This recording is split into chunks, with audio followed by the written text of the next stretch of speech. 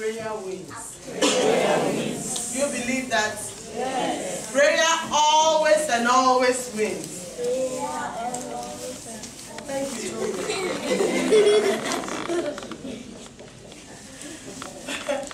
and so we will not give up. We will not give up on our husbands. We will not give up on our children. We will not give up on situations. Even when they seem so difficult, it seems as though we cannot overpower them, we will still keep on keeping on. And on this note, let me see this switch. Hello? Hello? On this note, I want to say thank you to our mothers. Thank you to every lady here. Thank you for accepting to be a woman. Though we cannot change it, some people always have this notion of, I wish I was something else. One of the most beautiful experiences any woman can ever have in your entire life is to be a woman, is to be a mother, is to care for a child. It, it can be also so very much stressful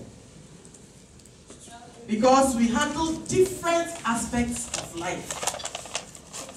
You help your husband, you raise children, you are so many things at the same time. Mothers are the foundations of the home. They are teachers, medical care providers, even when you are not a doctor, you are no nurse, yet you are a medical service provider as a woman. We are teachers, aren't we? Yes. Even when teachers teach our children in the school, they come back and we still must teach them. We teach them basic things apart from the academic work that we help them with. We teach our children to have a good sense of morality. We teach them to say please. We teach them to say thank you. The basic things of life are taught by mothers most of the time. We are cooks, aren't we? We also cook for our children. And when and our, and our spouses, if we are married, for even our siblings if we are living in the house with them. Sometimes we cook for people we do not know. We show a lot of care. We are role models. And this is where I need to speak to people who think Mother's Day is not for them. The fact that you didn't give birth or you have never given birth to a child doesn't mean you are not a mother. You may be a somewhere. Sometimes they tell you, other times they do not tell you. But secretly, you are being admired. You are being a mother to somebody unknowingly. And never think when Mother's Day is mentioned, you are nobody at all. There are a whole lot of people looking up to you, though they may not be your children. A few may come up one day and then tell you, then you realize how much of a mom you've been to somebody. And so we need to get it right. Early to bed, early to rise. Your children will even check on you to see if you are obeying the things that you teach them. Whether it is true you are an early riser or not. Whether you, you, you only tell them, you preach virtue and practice what? Vice. So we are role models. We show them to be Christ-like by the very lives we lead to. And we are industrious people. Mothers are industrious. My mother was a teacher, but at the same time a businesswoman. We learn to do other things to help raise our families. We do a whole lot of things and engage in many businesses that ordinarily men may not be able to do. We are hospitable. Whenever visitors are in the home, it is the mothers that they look up to. When there is no food, it is the mother that they look up to. The patience, the care, the love, the correction, the discipline that we always give tells everybody around us that women are indeed needed everywhere. Move to any part of the world. It is not only men that make it happen. Women are making it happen. We are making it happen big time. And on this note, on behalf of myself, on behalf of all ladies of substance, international network members, on behalf of our brothers, the Boson brothers, I want to say I salute you. I salute every woman. I salute every mother. Amen. I salute mothers of physically challenged children. Amen. We salute them. It is not easy to, to have a physically challenged child. It seems as though they draw you back. But God has great reward for these people. We salute single mothers. We salute single mothers. Mothers who have raised children with no help from bills, whether it is through divorce or whatever means or however it happened, these are women who are doing a yeoman's job.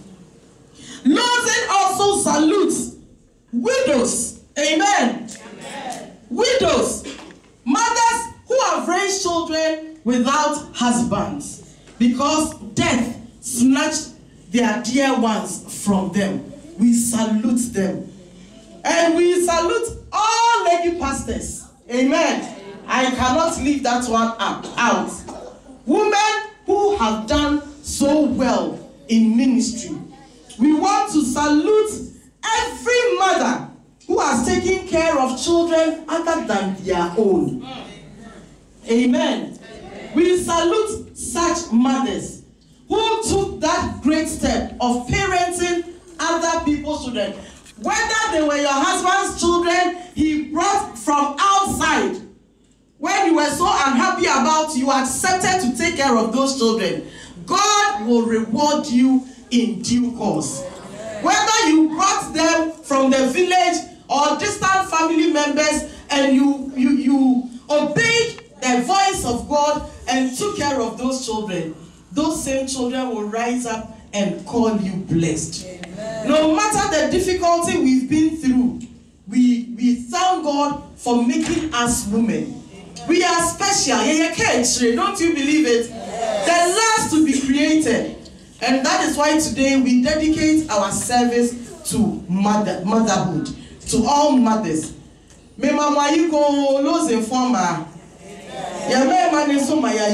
Amen. I want to end this by, by telling you or just quoting scripture. According to Proverbs 31, verse 10. May your children rise up. May your children arise up and call you blessed. Amen. And your husband also. Amen. I pray that even if he's like that one we watched, he will come back home. Amen. He will come back home and take charge of his home. Like the husband we saw in war room, he will come back. Keep on being on your knees all the time. May they come and praise you. Many daughters have done virtuously, but you excel them all. Amen. Favor is deceitful, and beauty is vain.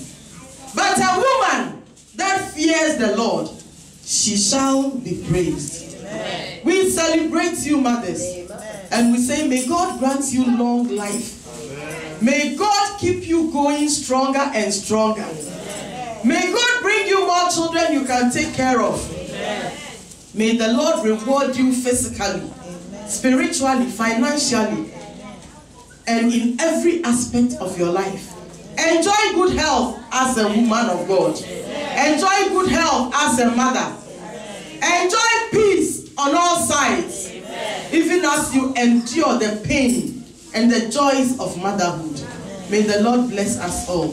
In Jesus' name. Happy Mother's Day in advance. Amen. God bless you.